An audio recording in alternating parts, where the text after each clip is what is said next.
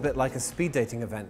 Like, uh, I feel like I should say, well, I'm Ben Corrie, I like ponies, uh, frolicking in the countryside, um, karaoke, and um, cinema. I have a sense of humor. Um, so, um, I'm from VMware. Uh, SpringSource is the logo on my slides. Uh, SpringSource was acquired by VMware about a year and a half ago, and I was part of that acquisition. And uh, I was a little nervous coming here. Um, the VMware recruiter actually called me up this afternoon and said, uh, oh, Ben, you know, I hear you're doing some SFJUG thing this afternoon. Could you possibly plug VMware? And like, it's a cool place to work. I'm like, well, it's kind of, you know, developers and, you know. But given that everyone else has done it, um, I, you know, VMware is a great place to work. There you go, I did it. um, come work for us, we're recruiting. So, SpringSource uh, was acquired by VMware about 18 months ago. Uh, I was part of that SpringSource acquisition. Part of my introduction here. Um, and I've basically spent my whole career in Java. Uh, I left university in 98, went and worked for IBM when Java was, you know, kind of just starting out. It sounded like a really cool thing to do. Um, started off testing Java 114, then got into JVM development at IBM. Uh, I basically uh, took the J9 JVM from being a micro edition to a standard edition JVM. Then I developed uh, a class sharing capability in that JVM over about five years. Um, I won't go into any detail on that, but it was, it was pretty cool. It was a really good grounding in, in, in sort of uh, JVM development and that whole area. Then I moved to SpringSource because I wanted a change. I wanted to get out, uh, do something different, uh, learn about stuff higher up the stack. So I spent 18 months basically touring Europe and various places teaching Spring Framework and teaching OSGI and teaching you know, Tomcat and Java and all this kind of stuff. Um, and then VMware acquired SpringSource and they were like, well, we've got this big Java stack and we know that there's still some areas in which we really want to improve Java. And so they gave me the opportunity to come over here and basically just kind of start some really small projects looking at how we can make Java perform better uh, in a virtualized environment. So I spent the last 18 months uh, doing exactly that, basically just spending the whole time looking at uh, you know, where, where is the work that we still need to do? What are the things that customers are still complaining about? Right? And one of the things I will be talking to you about uh, in this presentation uh, is uh, the product I've been working on for the last year because it's cool. You know, I'm, I'm really proud of what we've done. Uh, I'll be giving you a sneak peek of what we are going to be doing as well, which, you know, hopefully uh, will work. I've got a very complex demo. Uh, and the last time I gave this presentation, the demo very embarrassingly just didn't work at all because the network went down. So I'm hoping we'll get the demo working. If we do, uh, it should be a really good illustration of the kind of things I'm talking about. So that's enough of an introduction. Um, so what I really want to do in this presentation is um, go in depth looking primarily at memory management for Java when running virtual. Now, um, I'm going to go into some background on just kind of the whole layers of memory management uh, in the hypervisor uh, and the operating system. Uh, I'll be going into some detail about different types of memory management in Java, and then ultimately tying all those things together and looking at how they interact. Um, what I really want to examine are some of the performance pitfalls that you can end up hitting, uh, and ultimately what we've done to, to, to help address that. By the way, do shout out questions, uh, observations, abuse as we go. Um, uh, well, there'll be Q&A at the end, but you know, I, I will try and, uh, try and deal with questions as they arise. And I'm sorry that this is a little bit dim. During the demo, I will be zooming in and stuff so you can see a bit better. So um, I've just got a few kind of what is virtualization slides. Hopefully most people are familiar with this. Um, it's really uh, about taking uh, what were physical machines and essentially creating a mechanism of uh, virtualizing them, making virtual machines out of your physical machines, putting them all onto uh, a larger piece of hardware to give you these benefits. So, um, you know, we're running multiple operating systems on one machine. Uh, we can get high availability. Uh, you know, we, uh, we can monitor things a whole lot better. Um, you know, they're more configurable. So really we're looking at taking a whole bunch of physical machines and consolidating them down into much more manageable uh, and configurable systems. And of course, once you've done that, uh, you know, you can then take advantage of high availability stuff uh, and some of the other cool things that uh, virtualization is able to do. Well, one of the things that is worth mentioning about virtualization, though, is it allows you to um, treat uh, resources in arbitrary ways, right? So you can basically create pools of resources, whether that's CPU, whether that's memory, and you can put VMs into those pools of resources and create arbitrary constraints around memory and CPU to divide up the computing resource that you have available to you. The reason I mention this is because we'll be referring to that a little bit later on. So what I'm going to do is I'm going to start off looking at the existing Java best practices that we have. Now, um, it's really interesting, actually. The guy that wrote our best practices guide, um, uh, he's spent quite a lot of time uh, working with companies that have been virtualizing Java. In fact, he's been doing it for years. And he's really sort of gone through this whole process of, of, of experiencing problems that customers have had, coming up with solutions, finding uh, a lot of the commonly experienced problems. And at VMworld every year, he gives a talk on Java best practices. It's a whole hour-long talk in itself. Um, he's written a paper that I've referenced online. But every single year, it seems like there's exponential growth in the people that are virtualizing Java. Yeah, every year it just doubles in size, and at the start there's always a show of hands. It's like, yeah, we're virtualizing Java, or we have, or we're in the middle of it. Um, and there's a lot of interest at this point in, okay, how do we do it without tripping up on the kind of common problems? So the first thing I want to look at is, you know, some of those, uh, just a summary of some of those things before we start looking in depth at memory. It's worth mentioning that actually hardware does have a part to play uh, in how effectively virtualization um, performs. Um, there's various different uh, CPU uh, enhancements, capabilities that appeared uh, from sort of 2006, and the more recent CPUs, particularly the ones that have the MMU virtualization, um, give you much better performance uh, with virtualization. So that's definitely something to, just to bear in mind. We do have some really good papers though online. We have uh, best practices, so this is a general best practice virtualization uh, paper for um, just running anything on vSphere. But we also have a specific enterprise Java applications best practice guide.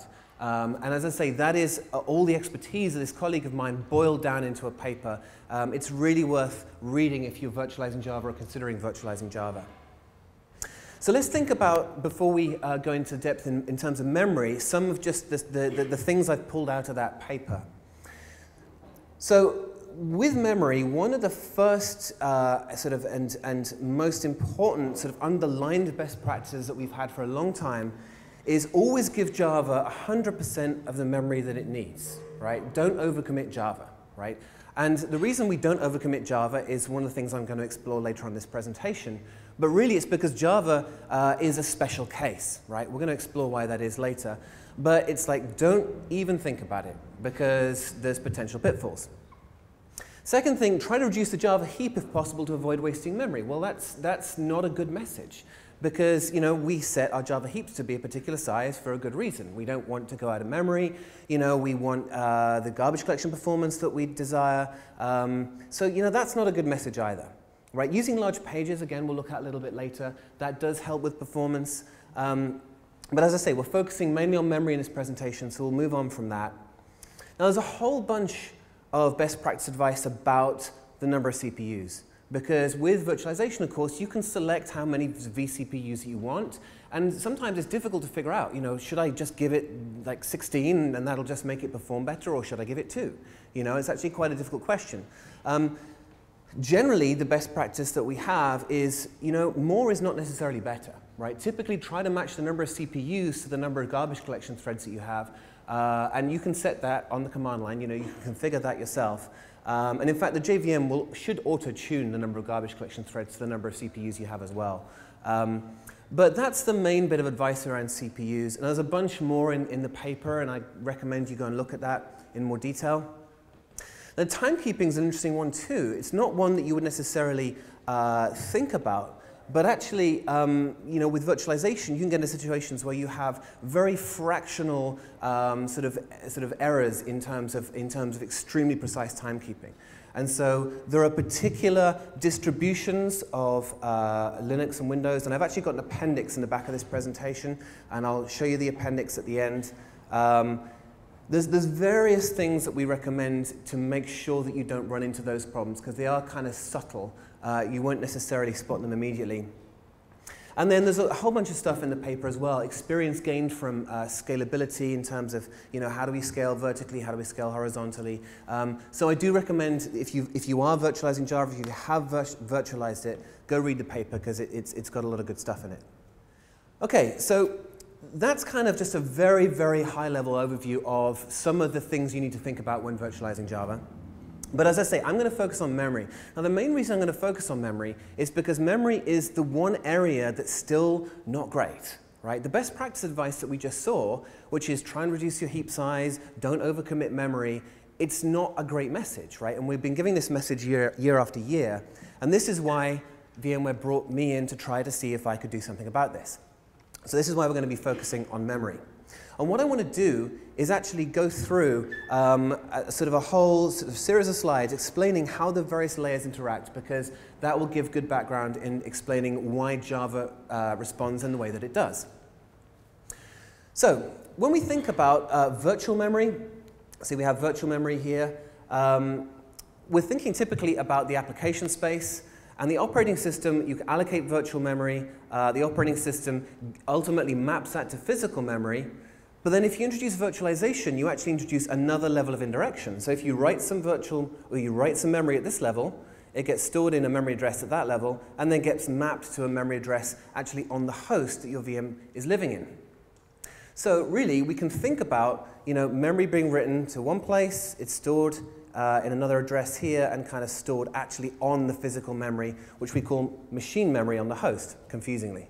Physical memory here is what we describe as the memory in the operating system, which of course when it's virtualized is one level of indirection above the actual real physical memory.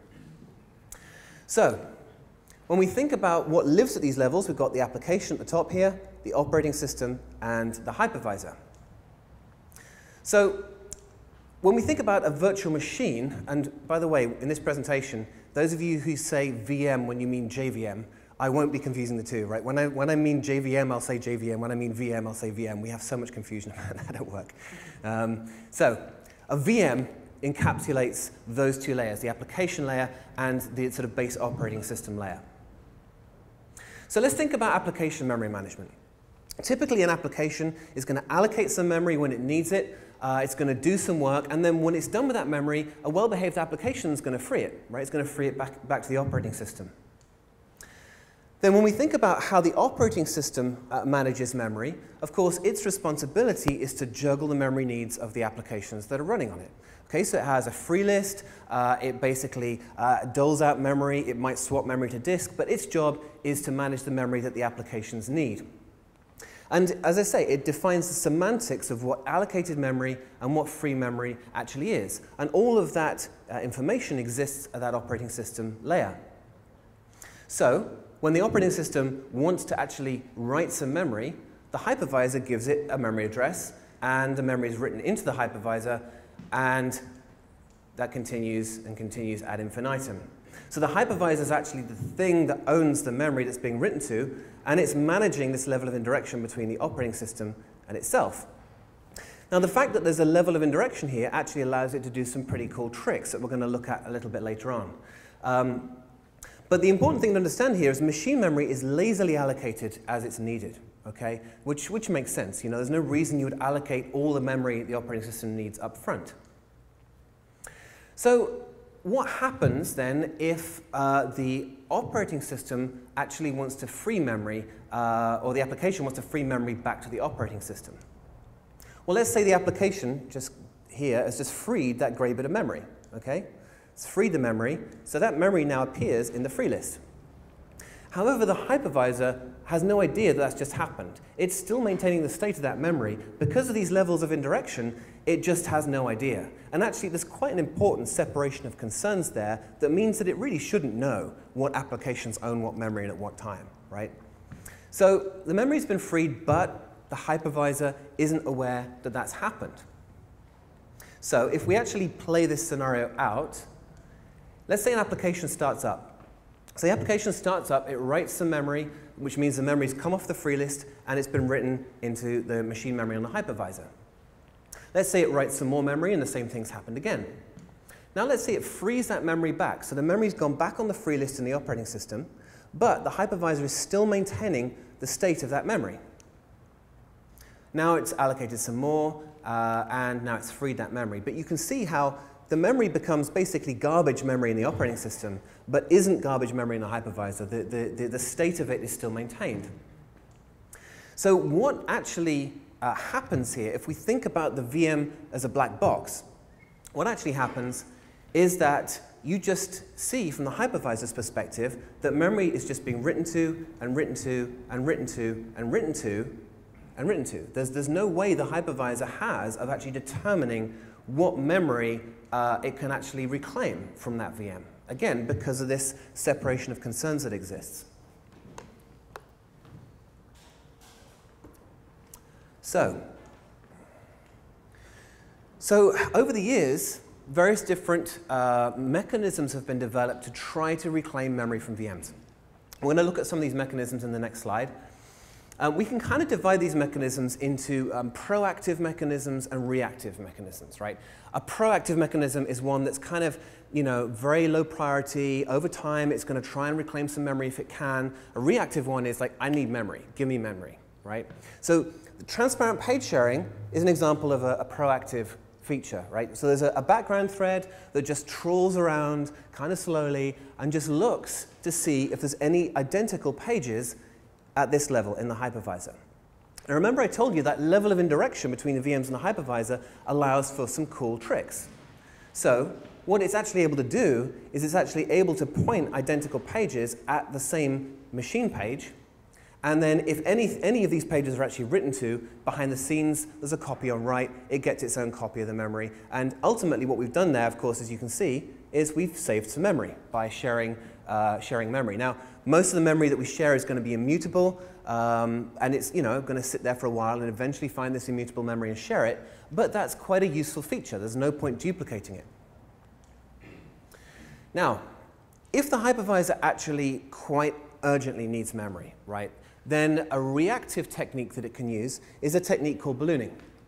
And what I'm going to do is explain a little bit about what ballooning is for those of you who haven't seen it before. Let's say we have a couple of VMs and they're all using uh, memory on the hypervisor. Well, ballooning is basically a way that the hypervisor has of putting direct pressure on the operating system to force it to give back memory. Okay? Now, I'm going to show you exactly how that works in this next slide. Let's imagine that the hypervisor down here has eight pieces of memory that have been written to. Okay, it says machine memory that's been written to. But you can see this guest app here actually only has three bits of memory that it's using. This means that there must have been things running beforehand that's left a whole bunch of dirty memory here in the operating system, and that's then still allocated in the hypervisor. So the hypervisor is basically saying, I need some of this memory back, right, from the operating system. And you can see there's actually plenty of free memory there. So it has this thing called a balloon driver, and the job of the balloon driver is to take instructions from the hypervisor and allocate memory. So let me show you. Let's say the hypervisor says, right, I need three bits of memory. Well, the balloon driver allocates the memory, and it now owns that memory in the operating system. So the memory has gone off the free list. The balloon driver then pins the uh, memory to make sure that it can't be swapped to disk and it can't move. What it then does is it then passes a message back to the hypervisor saying, okay, I now own this memory and I've pinned it so it's not going anywhere. Here are the addresses of that memory. You can have it back. So it's like a kind of a, a, sort of, the balloon driver is like a secret agent with a red telephone working on behalf of the hypervisor undercover inside the VM. It makes it sound more exciting than it is, but you know, it's, it's a nice image. So so what's, what's happened there, importantly, is the hypervisor's been then able to decouple that memory. And of course, now, instead of having eight pieces of memory, we now have five pieces of memory allocated. And ballooning, the first time you come across it, is actually a little bit counterintuitive. Because what we're doing is we're actually allocating memory in order to give it back. So, one possible side effect of this ballooning is that uh, potentially there's not actually going to be uh, enough memory uh, for the balloon driver to, to, to, to, to take without causing any uh, side effects to that operating system. All right? So let's imagine there's loads of free memory. Um, the balloon driver takes the memory and everything's good. But if there really isn't much free memory in that uh, operating system, and the balloon driver takes a bunch of it, there's a potential that it's going to um, eat into the buffer cache, which maybe is what we want. But there's also a potential it might start paging other applications to disk. Um, yeah. The question was uh, whether the operating system is aware that this is going on. And the answer is yes, it is, um, because the balloon driver is just a process that runs in there, and it simply just allocates some pins memory. And then if the hypervisor wants the balloon to shrink, it just frees the memory that allocated and tells the hypervisor that that's happened. So the operating system is very well aware that that's happening. And in a sense, that's kind of the point. Because what we're trying to do here is we're trying to make the operating system do the right thing within its own framework of memory management. Right? We're putting pressure on it, and if it decides, okay, I'm going to give up some buffer cache, or if it decides I'm going to swap this application to disk, or even if it decides I'm going to kill this application because I'm completely out of memory, that's the right thing for it to do because we're, we're, we're not telling it what to do, we're just kind of having, you know, we're, we're, we're putting memory pressure on there, if that makes sense. So, So let's look at a couple more techniques the hypervisor has available to it very quickly. Um, again, these are reactive, right? So if ballooning doesn't give us enough memory, um, we really don't want any VM uh, violating any constraints or using more memory than it should. Uh, and so the, the hypervisor will come down pretty hard on a VM that doesn't behave. And one of the ways it can do that is uh, by compressing memory. So here you see this piece of blue memory here. What it can do is that it can actually zip it and then uh, sort of have a, a, sort of pseudo reference to it, and then it will uncompress it if it needs to be read back in again. So it's like swapping, but it allows the hypervisor to keep it in memory, and so it's more performant than swapping to disk. But of course, at the last resort, it can actually swap memory out to disk. Again, it's a way to free memory, but it's not going to be performant. So a really important question that, that's raised by this whole topic of memory reclamation is when does the hypervisor reclaim memory and which VMs does it target for this kind of reclamation? Well, the answer to when it reclaims memory is simply if it's under memory pressure, right? So the passive technique that we saw happens all the time regardless. It's very, very low cost. It doesn't, you know, there's no real, no real notice, no one really notices that that's happening. Whereas the reactive techniques are only employed if uh, there is memory pressure on the host. So remember earlier on we talked about how you can create these resource pools. So let's say, for example, that I've got two VMs that are uh, four gigabytes each, so I have eight gigabytes of, of, VRAM in total, and I put those into a resource pool that I say, okay, I only want you to have six gigabytes. We've basically then applied some memory pressure by saying these guys can only consume a maximum of six gigabytes on the host. And it's at that point the hypervisor is going to have to start basically putting memory pressure on these guys and really doing a juggling act under the covers to make sure that uh, they only ever consume that six gigabytes. So that's when reclamation occurs. Uh, which VMs is actually another interesting question because you don't want to be reclaiming memory from VMs that are very uh, active or that have you know, a lot of memory in use. And so what the hypervisor does is it, is it makes a pretty accurate estimation of the amount of active memory in a VM. So it will look at the number of reads and writes going on uh, with any given VM. It will estimate how much of that memory is actually active, how much of it is in use, and it will target the least active uh, VMs for reclamation. And actually, um, this is exactly what you want. You know, you may have um, two VMs, uh, one of which is serving one geography, and the other of which is serving another geography that's 12 hours, uh, you know, advanced. And so for part of the day, one's going to be really active. For the other part of the day, the other one's going to be really active. And again, that's a perfect candidate for that kind of resource juggling. You know, you'll get memory reclamation from the least active one when it's most appropriate, and the most active one gets all the memory that it needs. So that's basically the tricks that are used under the covers to make sure that in general it makes the right choices and the right decisions. I will say though, that for things that are very highly performant, like anything that is, you know, latencies are critical, um, you know, any kind of memory over commitment, regardless of whether it's Java, is probably not going to be appropriate, right? Because, because there's always going to be uh, a small cost incurred regardless of you know, regardless of how, how big or small that actually ends up being. So, having looked then at these memory reclamation techniques, yeah, hi. So yeah, so if you weren't to use a resource pool, there's a couple of different ways that memory pressure could occur. you could actually have the entire host be overcommitted, for example. So if you've got you know, 32 gig in the host and you have enough VMs that total 48 gig, that's one way in which it will try and reclaim memory. Um, you can also force VMs into situations where they have to run in less memory than, you've given, than, than they think they have. Um, that's less, a, less of a good idea because you basically bypass the hypervisor's sort of uh, intelligent estimation at that point. But, um, but there are various different ways of making that happen, yeah. And of course, you know, this integrates quite nicely with uh, the vMotion technology as well. So if one host gets under too much memory pressure, it'll start moving VMs off onto another host you know, that, that you might have as a backup. So you know, the, the, it works in, in, in, an integrated way with that. So what I want to look at now is um, Java memory management, um, and then we'll sort of hook the two together.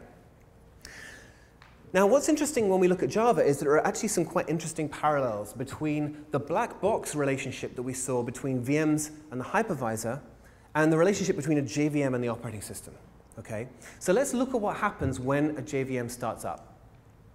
So the JVM starts up, let's say the JIT initializes, the interpreter initializes, the garbage collection initializes, and then your application starts. So your application is going to start writing data into the heap, and it's going to be, of course, chewing into the uh, memory in the operating system.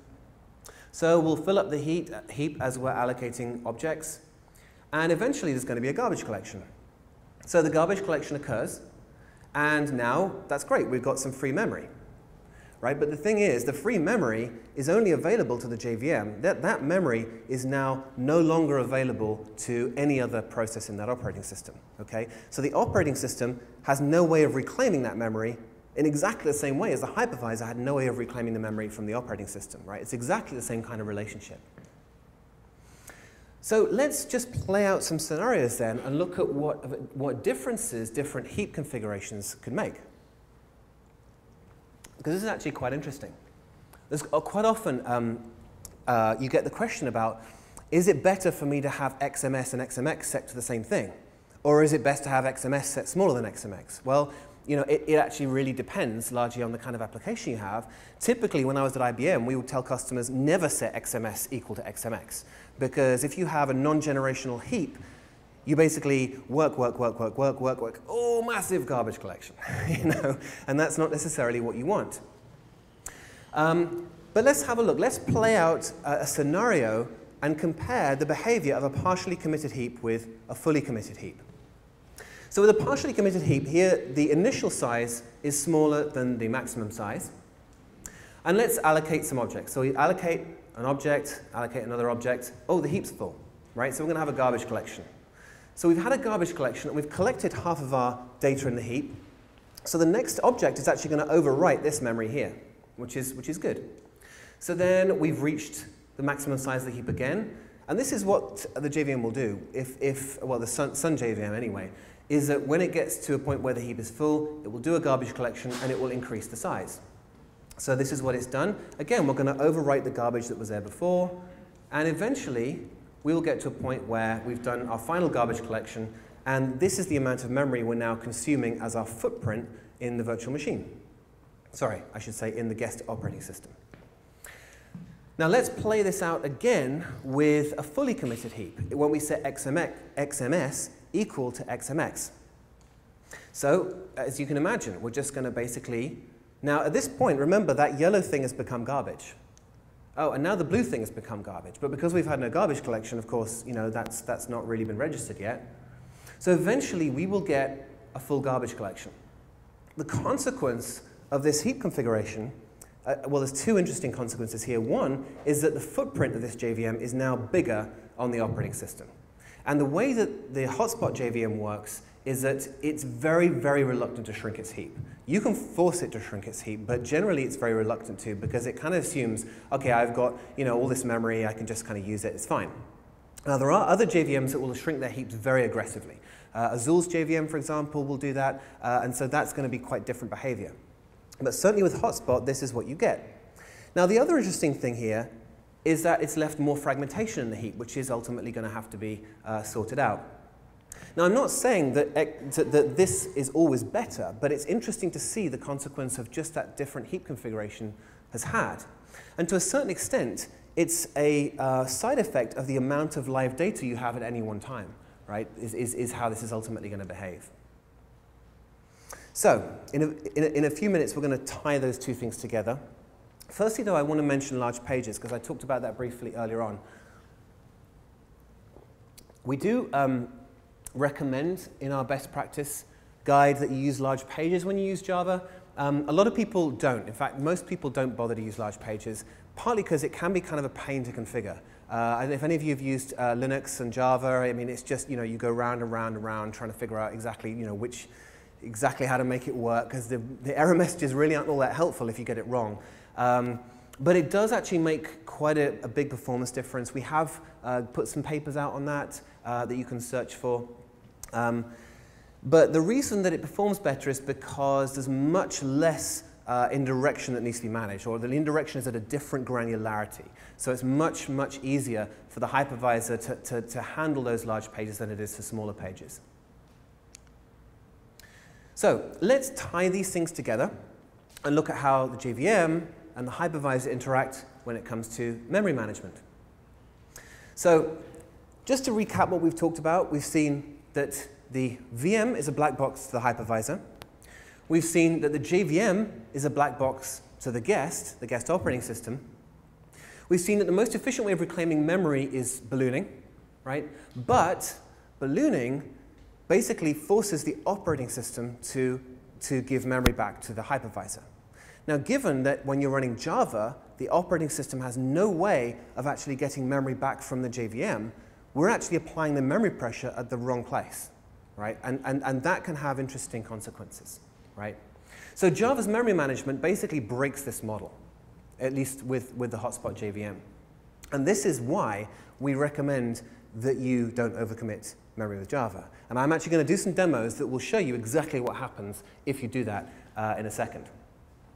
So with ballooning, the hypervisor, uh, yeah, so I've already mentioned that, that's fine. So, so let's have a look at what happens with Java. Let's actually play this out. What we're going to do is we're going to run the exact same scenario that we just did. In fact, this is the situation that we left that previous scenario in, and we're going to apply ballooning to that. So let's introduce the balloon, and then let's say that the hypervisor says, okay, give me some memory, so the balloon uh, inflates. Fortunately, there's actually some free memory in that operating system, and so that's all been fine. And then, you know, the heap's written some more memory and everything's hunky-dory. With a fully committed heap, though, remember we left it in this slightly uh, fragmented and, you know, um, bigger footprint state. We introduce the balloon. Suddenly, the balloon is fighting with the JVM for memory. So what it's likely to do is it's likely to swap the JVM heap out to disk because it can't get access to that, to that free memory. And what's going to happen? Well, the next time a garbage collection occurs, it's going to be very slow because it's going, you're going to have very high latencies trying to page all that heap memory back in from disk. Okay? So what's interesting about this is that the only difference between these two scenarios is how we configured our heap, right? Which is a really subtle thing. Um, but it's because of these subtleties that, again, we say, you know what? The provisos are too complex. Don't do it. Okay? Um, now, what's interesting, actually, is that the behavior of this ballooning varies with uh, large and small pages. Now, those of you who've used large pages on Linux will know that the current implementation, uh, actually, uh, the large pages are pinned. They can't be swapped to disk. Um, and so what happens is if you back the entire JVM with large pages, and that's the majority of the memory uh, in, the, in, the, in the VM, the balloon won't swap memory to disk because it can't, because it can't swap those large pages to disk. So actually, it simply won't inflate, and the hypervisor will start host swapping it instead. It'll start trying to compress it and host swap it, and the performance will suck just as badly. So um, it sucks in a different way, but it will still suck. And again, we will show you, uh, show you that happening. Again, I want to stress just in case you know this actually gets me fired, that I'm not saying that VMware's performance sucks, okay? we just want to be clear about this, right? What I'm saying is that the Java memory model is incompatible with the ballooning, and that's why we end up in this. So it's Java's fault. That's what I want to say. It's Java's fault. so, well, what about the transparent page sharing? Well, um, given that most of JVM is, is, is rapidly changing memory, most of it's not immutable, um, really that's, that doesn't help a whole lot. So, just to, uh, well, we talked about what memory overcommitment is already, so I'm going to skip past this page. What I'm actually going to do now is um, just kick off this demo, um, just to kind of break the presentation up a little bit, because it'll take a little while to run, and we'll come back to it afterwards, uh, and hopefully um, it will all make sense. Now, the last time I gave this demo was uh, at Spring One, and uh, InfoQ were filming it, and it went so wrong, and it was so embarrassing, and I didn't swear. I did very well, did not to swear, um, but they posted it on InfoQ, and it's really embarrassing. So,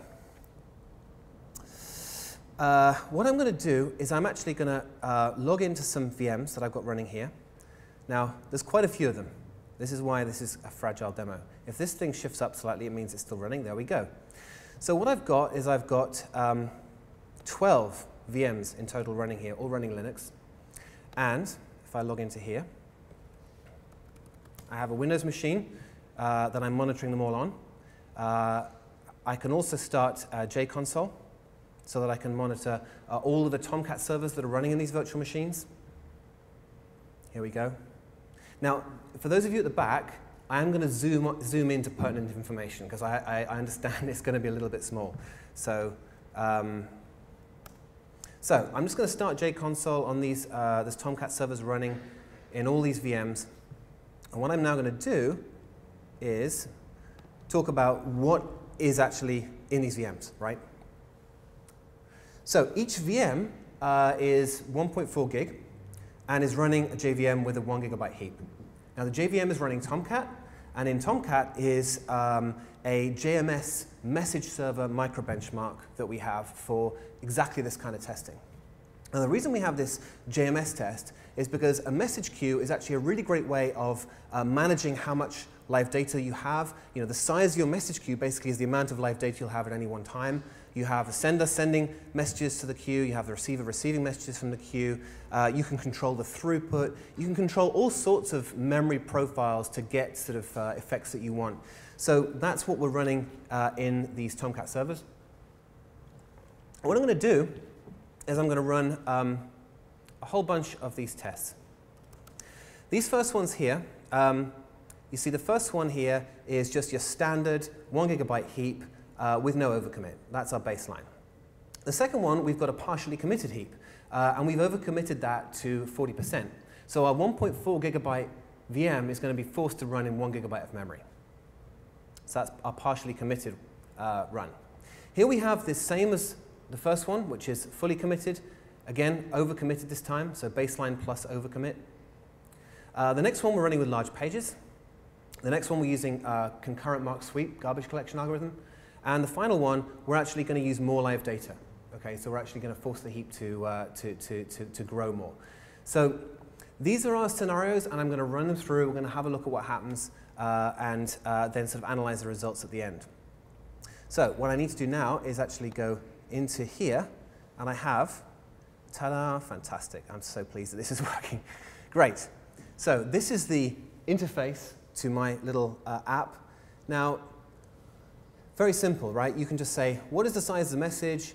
How many messages per second do you want to send? What is the delay on the receiver? Uh, what is the total number of messages you want to send? And what is the size of the queue? And using all of those things, we can actually manipulate uh, the memory in a very, very simple way to create various different scenarios. And we use this very extensively in our, in our testing of, of, of the features that I do. So what I'm going to do is I'm going to run this with a uh, predetermined uh, set of uh, values. So I'm going to kick all these off. And what's nice about this is that it actually tells you in real time exactly uh, what the garbage collection is doing, um, all sorts of interesting information. Apologies for the, uh, I should have automated this really. So this last one, you see the message queue is uh, 8, 80,000, whereas in the others, uh, the message queue is 20,000, right? And then it just go, goes down here. It tells us, you know, what garbage collection is happening, all that kind of stuff. So it's just a, a really useful way to look at what's going on. So what I'm going to do actually now is go to this uh, second lot of VMs. Now, these VMs are exactly the same as the first six, but they're running the elastic memory technology that I've been developing over the last year and a half that I'm going to come on talk about in a second. So we're going to run the exact same thing with that. And uh, again, if you'll bear with me for uh, two seconds for each tab. Just kick all these off. Again, exactly the same scenario, different configurations, and then we'll move on, and then we'll come back to it, and we'll see exactly what's, what's gone on, what's happened. Cool. Right, excellent, that's all running. So let's go back to the presentation, and we will revisit this. Uh, we will revisit this later on. There we go. So, overcommitting memory. So what I'm doing there is a classic example of overcommitting memory. I have a, a, VM that's 1.4 gigabytes, and I'm forcing it to run in a memory that is just one gigabyte. Um, it's just a, a classic uh, case of overcommitment.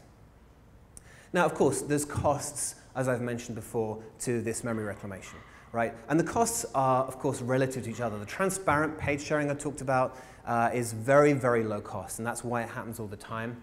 Ballooning actually, when it, when it works effectively, it's very efficient. You know, it can reclaim memory pretty quickly, uh, it's, it, and a lot of companies uh, rely on ballooning actually um, to, to, to, to, to, to get efficient memory usage out of their hosts.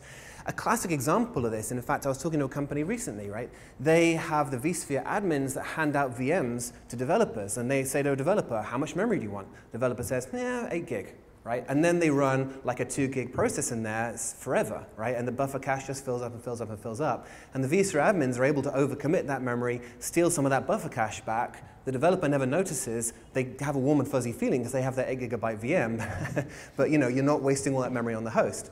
I mean, that's a classic case where this kind of technology is, is used. Um, and we talked about swapping earlier on. Um, it's just important as well to distinguish between the swapping in the guest and swapping on the host. I know we've already talked about this, but it's worth making that distinction.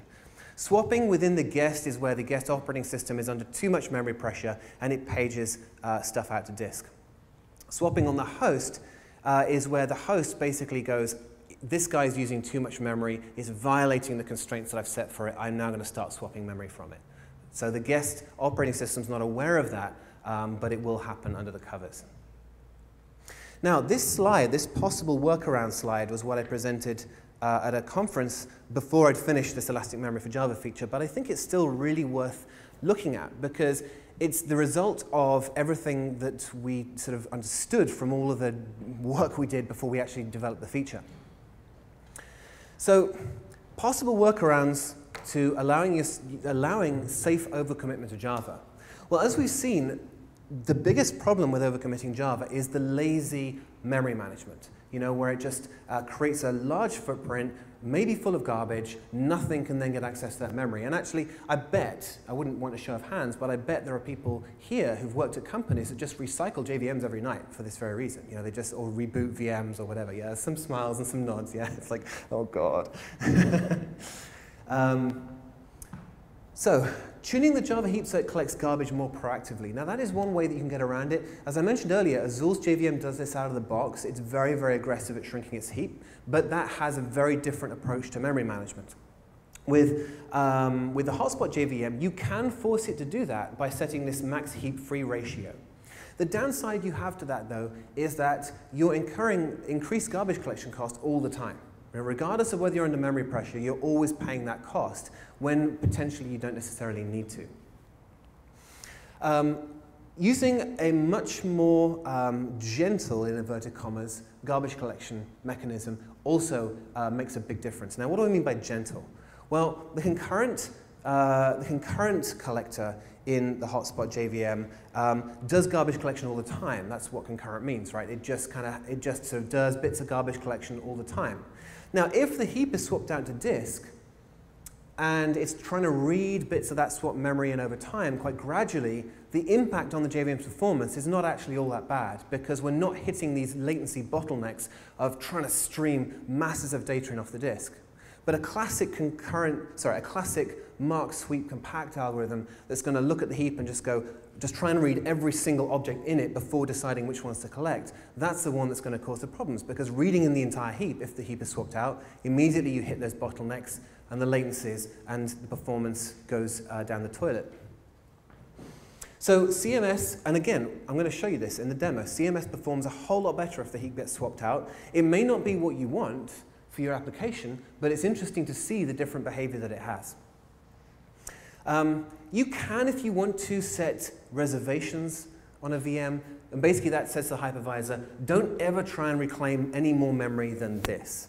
Right? So if you have a scenario where you know that you have a certain amount of buffer cache or a certain amount of memory that is safe to free, then you can do that, and that's one way to get around it. Yeah, that's actually a really good question. So the question was, when I'm talking about garbage collection, am I talking about the young generation garbage collection or the old generation?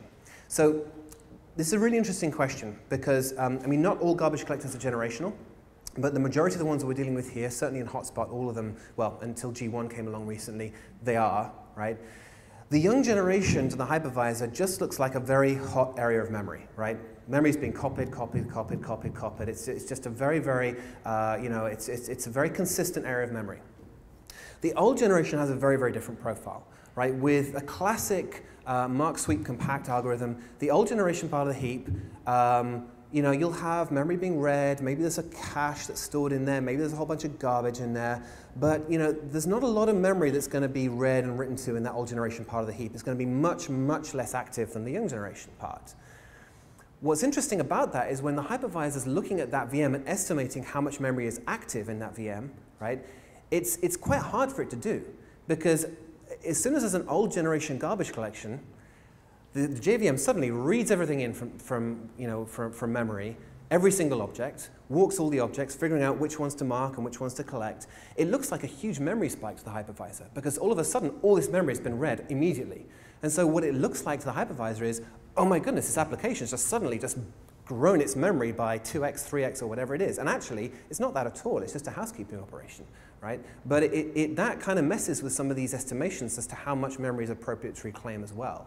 Right? And this, this, is, this is part of the problem we have with Java 2 is that the slightly eccentric way in which it manages memory leads, kind of fools the hypervisor to a certain extent in figuring out how much memory actually is really active at any one time. So to answer your question specifically, the problems occur with the old generation garbage collection because the, the, the operating system will never really page out the young generation part of the heap. It's just way, way too active.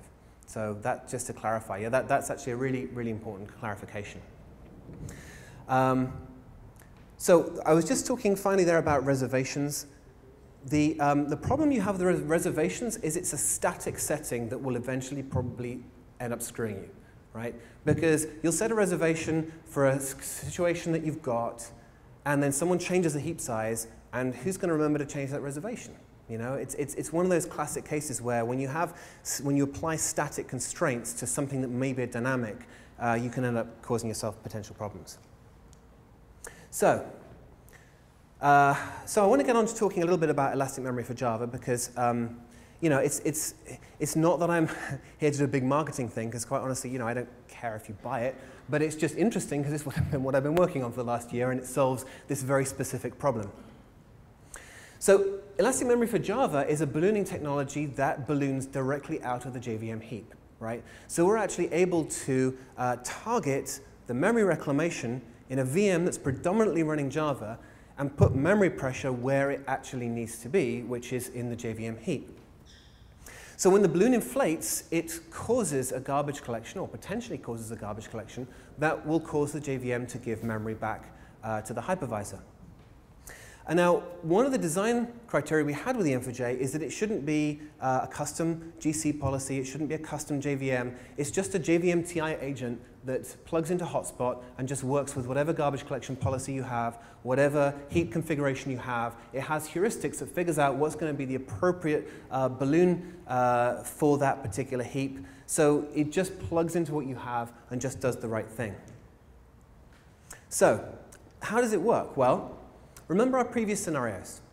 We had um, the partially committed heap left in this state.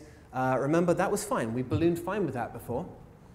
But if we use EM4J, Let's see what happens. Now, with EM4J, the existing balloon is disabled, right? We, we, we haven't designed it to work with the other balloon because coordinating multiple ballooning technologies was beyond the scope of what we wanted to do.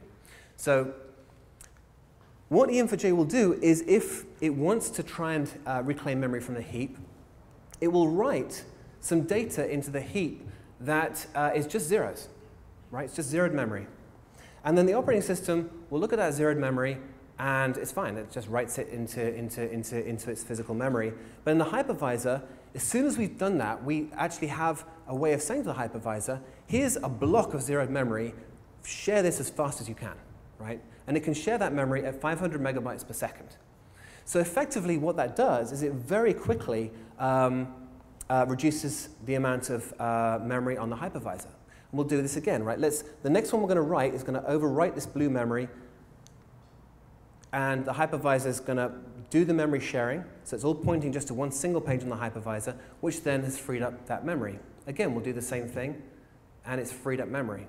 So really what it's doing is it's using a combination of the ballooning idea with some very aggressive page sharing just to free up memory on the hypervisor. Now, why didn't we pin memory in the heap? By the way, we didn't pin memory in the heap. So we don't pin memory in the heap because that would be a very bad idea because pinning memory in a JVM heap can cause horrible fragmentation problems and it's, uh, it's not something you want to do. So the nice thing about this is it's actually completely tolerant of compactions. So if there's a garbage collection, uh, we'll see in this one actually, if there's a garbage collection and the balloon data gets shifted around, uh, it's, it's, it's actually, that's not going to have uh, any detrimental effect. So let's imagine that in this scenario we looked at before where we had problems, right, with a fully committed heap, let's inflate the balloon in that scenario. So we inflate the balloon, we add some more, uh, add some more, and event, let's say there's a garbage collection, right? So we collect some garbage, it's now going to compact the balloon down, but that's fine. You know, that, that is, we're completely tolerant of that, and the net effect on the hypervisor is exactly the same as with, with regular ballooning. Now, when the JVM shuts down, that zeroed memory is still written into the operating system, so it, the balloon doesn't necessarily Im immediately go away, right? It will go away once we've written over that memory, but that's, that's the technique that we've come up with to actually get the JVM to do the right thing. So what do we mean then by elastic?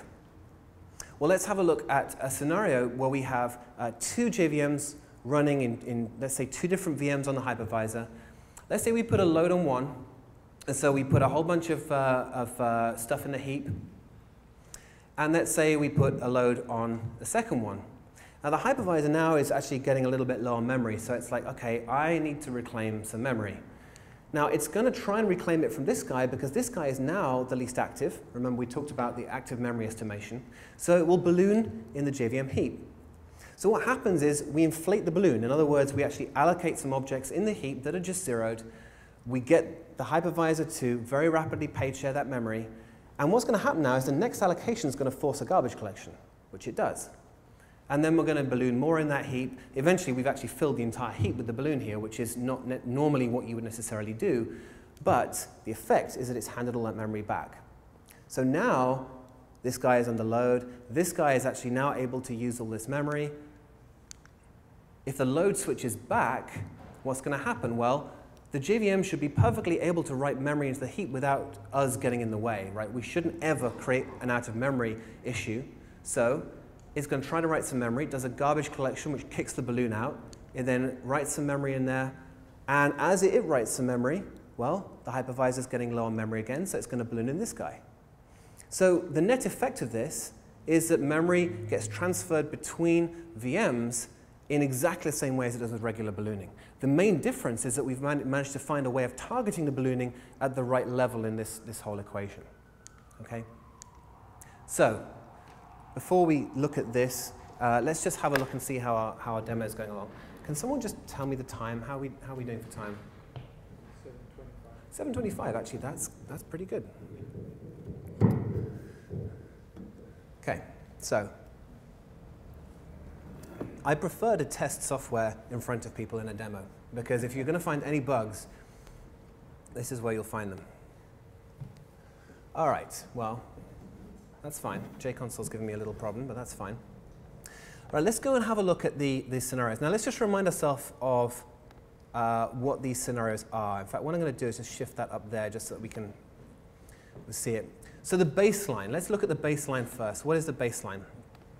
The baseline performance, uh, this is with a uh, fully committed heap, is that we've got one full GC, 91 minor GCs. The whole of the GC time has been basically three and a half seconds. Right? That, that's, that's the baseline run of what we would expect to see. Bearing in mind, this is a one gigabyte heap. So what's the next thing we're going to look at? Well, the next thing we're going to look at is a partially committed heap with overcommit, right? So a partially committed heap with overcommit, which is the scenario we played out earlier. Let's have a look. That's not bad. Now we've seen many more GCs, full GCs, which you would expect because the heap has grown and grown and grown and grown, like I showed you in the presentation, right? Um, and naturally, This one has overcommit on? yes, has overcommit on, right? So it, second scenario? that this is number two with overcommit on and uh, a partially committed heap. So what this is demonstrating is that even though we overcommitted this VM, it's actually performed pretty well. And the reason it performed pretty well is because the heap didn't actually grow to any like huge size and didn't actually then start conflicting with any ballooning, right? Because we use a partially committed heap. So all these GCs kept the heap size down, and okay, we spent six seconds total in GC time, but that's not, you know, that's not, that's not bad. So, number three, which is our baseline, which is the fully committed heap with overcommit. Let's have a look at what happened there. Okay, 53 seconds of garbage collection. Okay, one garbage collection took 41 seconds. Now that's obviously a really big problem, right? Because a single garbage collection that takes 40 seconds is a time during which your, uh, your, your uh, server is completely unavailable. Well, at least again, with, with, with the hotspot uh, garbage collection uh, stop the world that we're talking about, that's a, that's a serious problem. And with a one gigabyte heap, that's, that's a long garbage collection, right? Now, um, what's interesting is if we actually go and look at the VMstat output of, of these, right here, 21. So yeah, okay, so actually this is the one I want to look at is this one here. Now look at this, right? This is all the swapping that went on, right? So everything was fine, everything was fine, everything was fine. Suddenly, it was like paging nightmare, right? And, and what happened, if you, I don't know, I mean, some of you may not be familiar with looking at this format, but basically what happened here is a balloon inflated, paged massive amounts of the heap to disk, and, and the garbage collection um, exacerbated that, and that's why it turned into a mess. Now with number two, again, this is actually quite interesting, right? With number two, you can see we've still got uh, 835 megabytes free. So that, that actually hardly used, that used very little memory at all. Um, number one, the fully committed heap, you see we only have 52 megabytes free. So the fully committed heaps left a much, much larger footprint, even though it's exactly the same scenario, right? So this is just illustrating everything we were talking about earlier. So let's look at number uh, four, which is the large pages, right? So this is exactly the same as what we just looked at, except we're using large pages instead of small pages. Now, if we look at the VMstat output, you'll see there's no swapping there at all, right? Absolutely no swapping, and that's what I would expect to see, because we can't swap out large pages.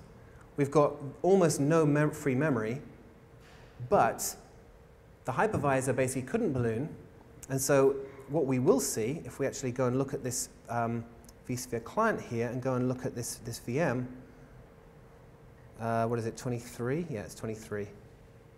Yeah, actually, it's not actually that easy to see because it's in yellow.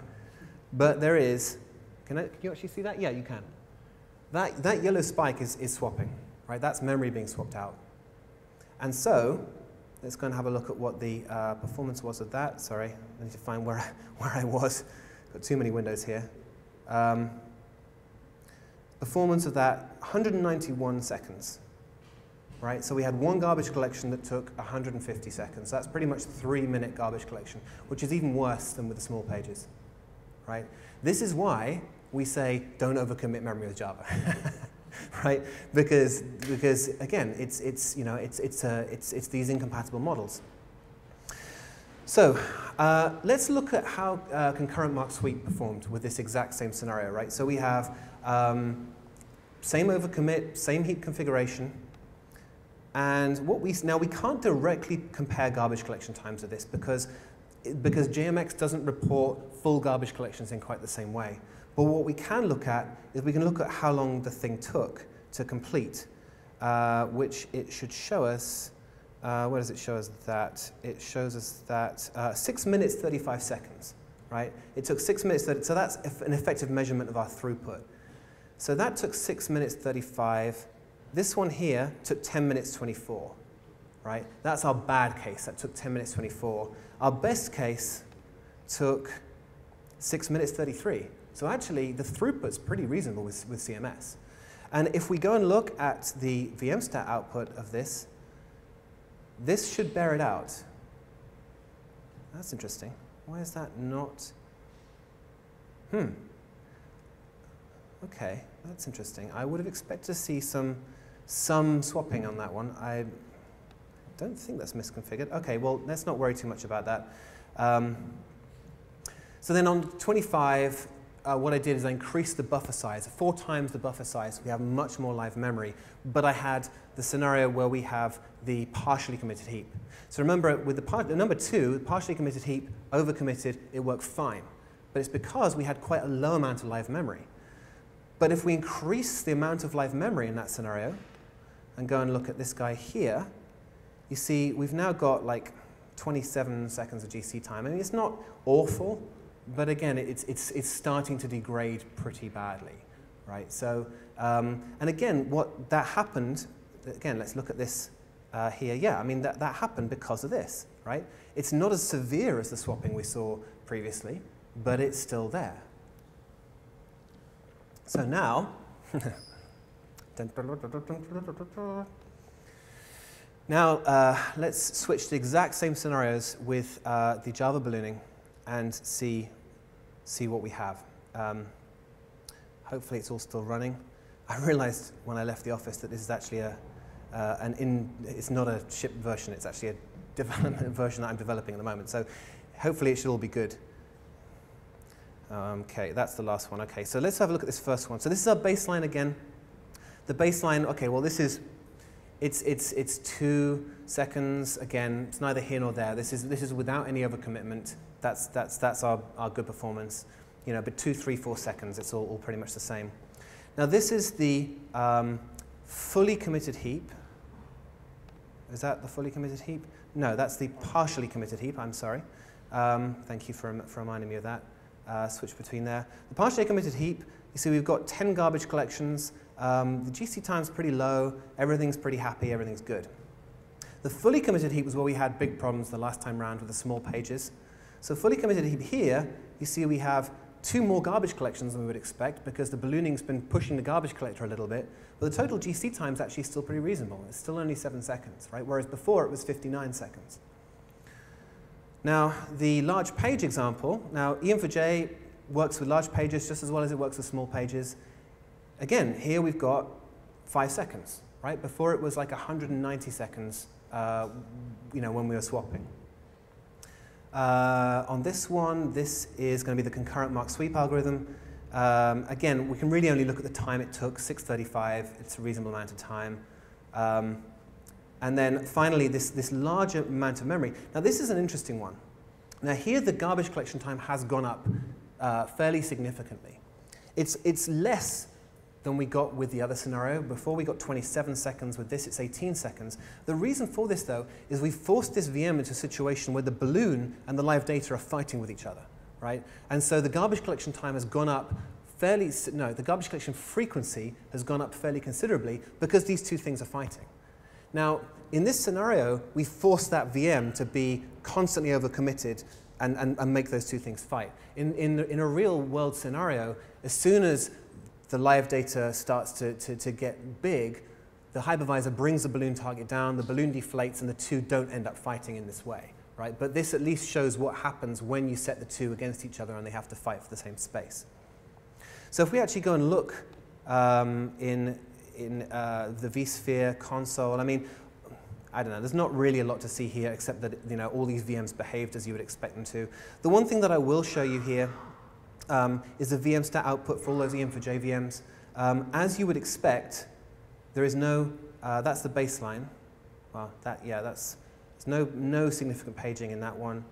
Um, again, no, I mean, this is what we would expect, right? We're not, there's, there's, no, there's no reason there should be any paging. That's why we got, you know, much better performance. anyway, that's, that's it. Ah, it worked. I'm really pleased with that. Um, so, thank you. I don't. Um, it's, it's an ambitious demo, I have to say, because I tell you, I'm on a VPN to do all of this, and if the VPN goes, the whole thing is screwed, and that's what happened the last time around. Um, so, so what I'm hoping this illustrates, yeah, hi, question. Is the elastic memory still doing well or is that a product from the other? So it's a good question. Um, so we put out a 1.0 of the Elastic Memory for Java uh, last September uh, as part of the vFabric product. Uh, it's embedded in uh, the TC server, which is Tomcat. Um, we're going to be increasing support for uh, other uh, application servers as we go forwards. Um, there's no reason why you couldn't just run it with any application server, except we want to make sure the logging integrates nicely, that the native library is in the right path and all that kind of stuff. Um, but yeah, it shipped last September, so this is, this is currently available in vFabric.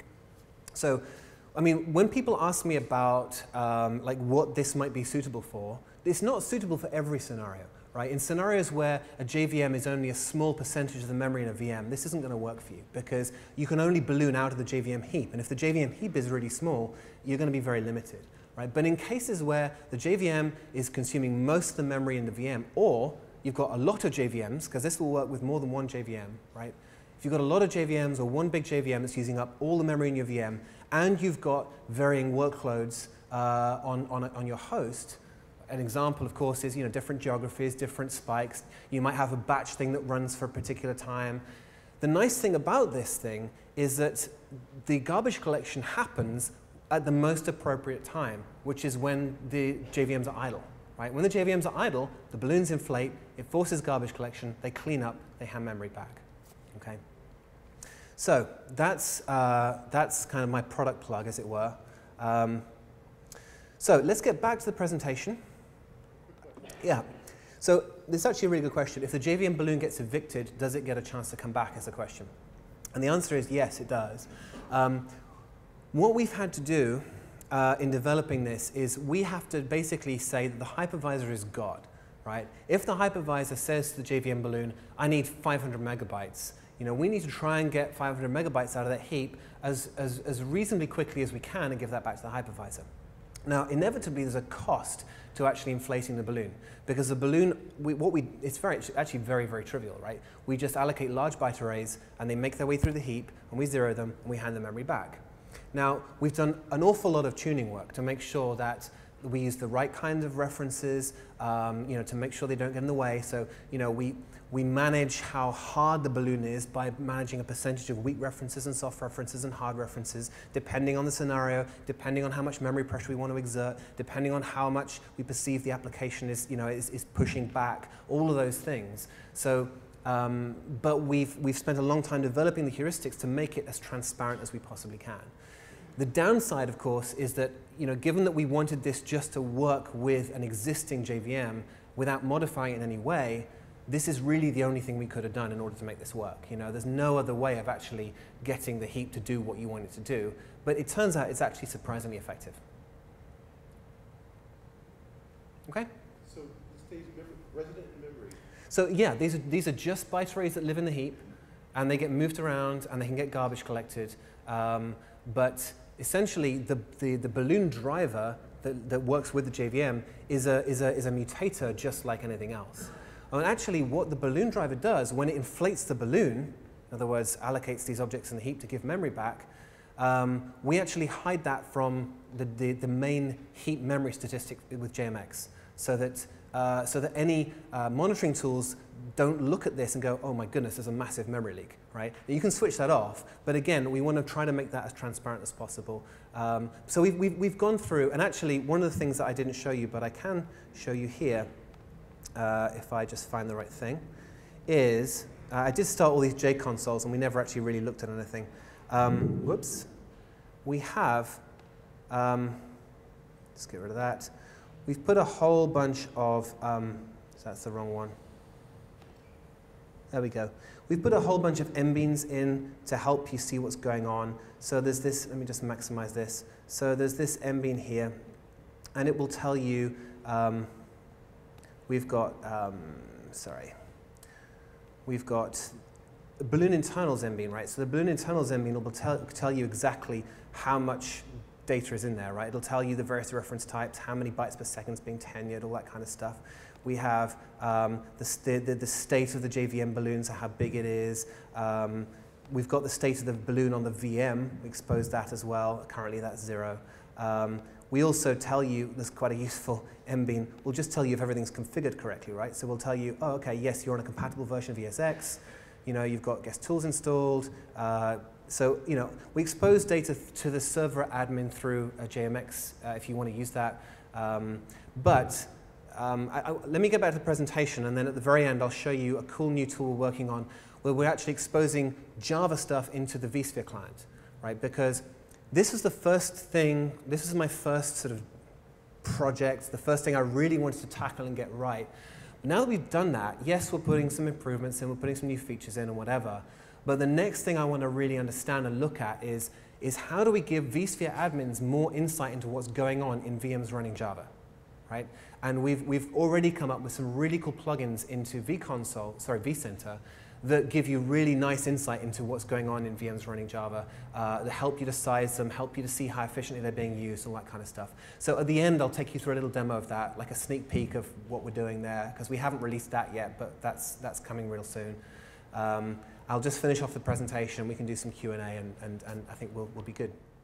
So one of the experiments we do, and this just shows you in a much larger context, we actually take a, a, a host uh, that has um, about 32 gig on it, and we run, uh, I don't know, something like 25, 30 of those VMs, uh, and we just round robin loads between them for about six hours.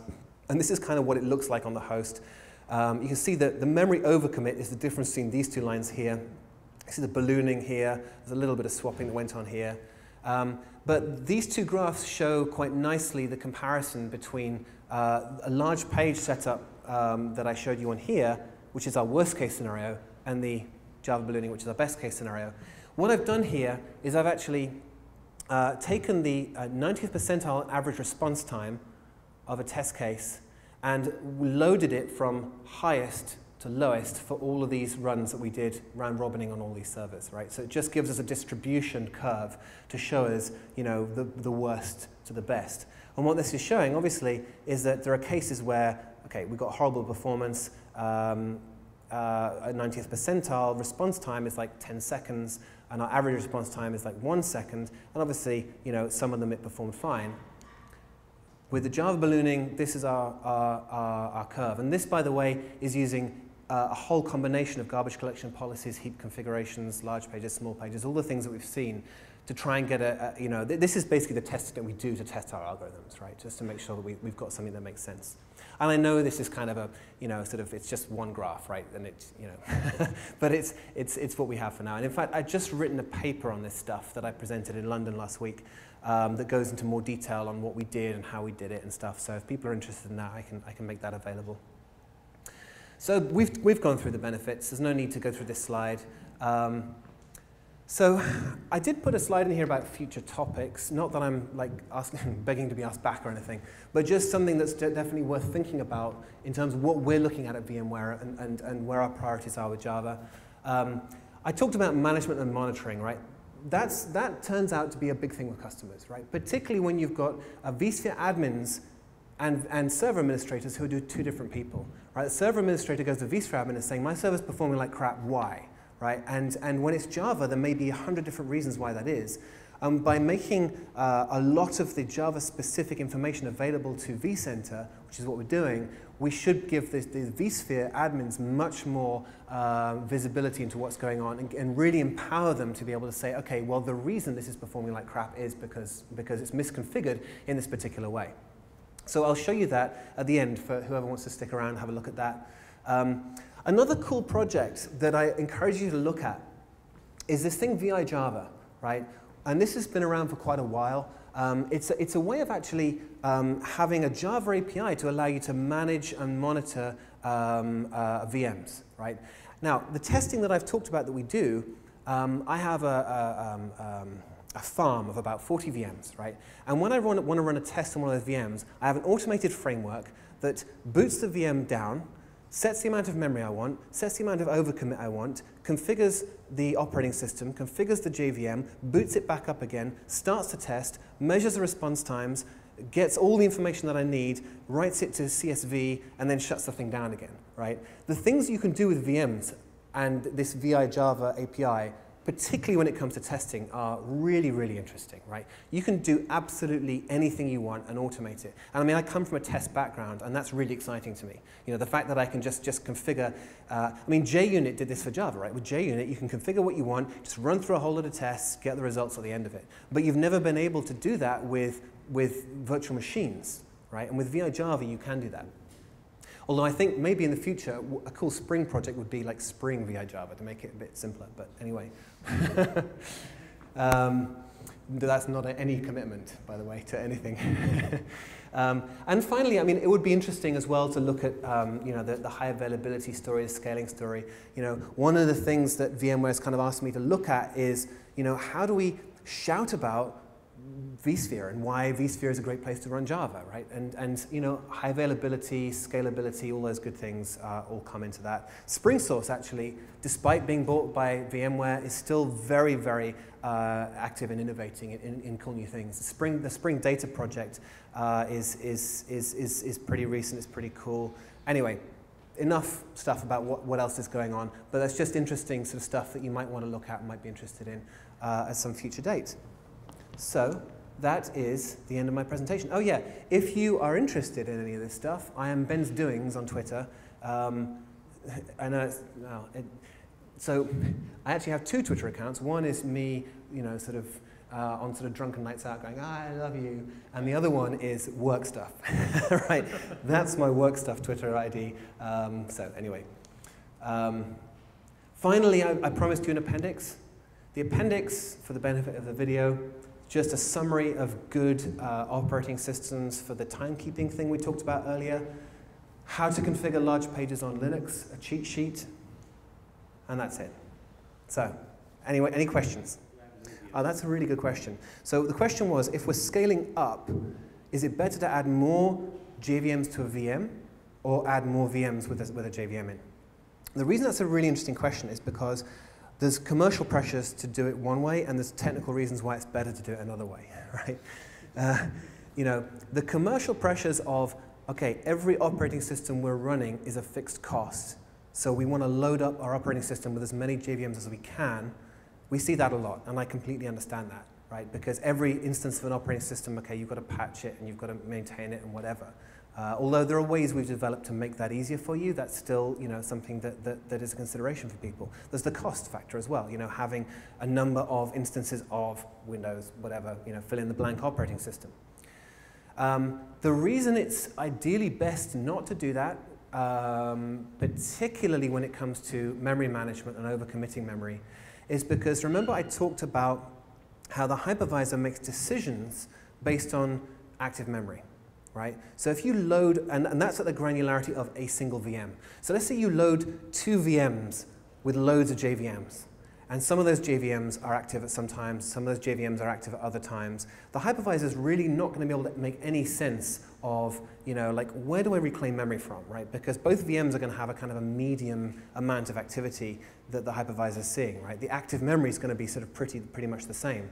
Whereas if each of those JVMs were in their own VM, the hypervisor is able to make much better heuristic decisions as to where it reclaims memory from because, because it's doing that at the granularity of the VM.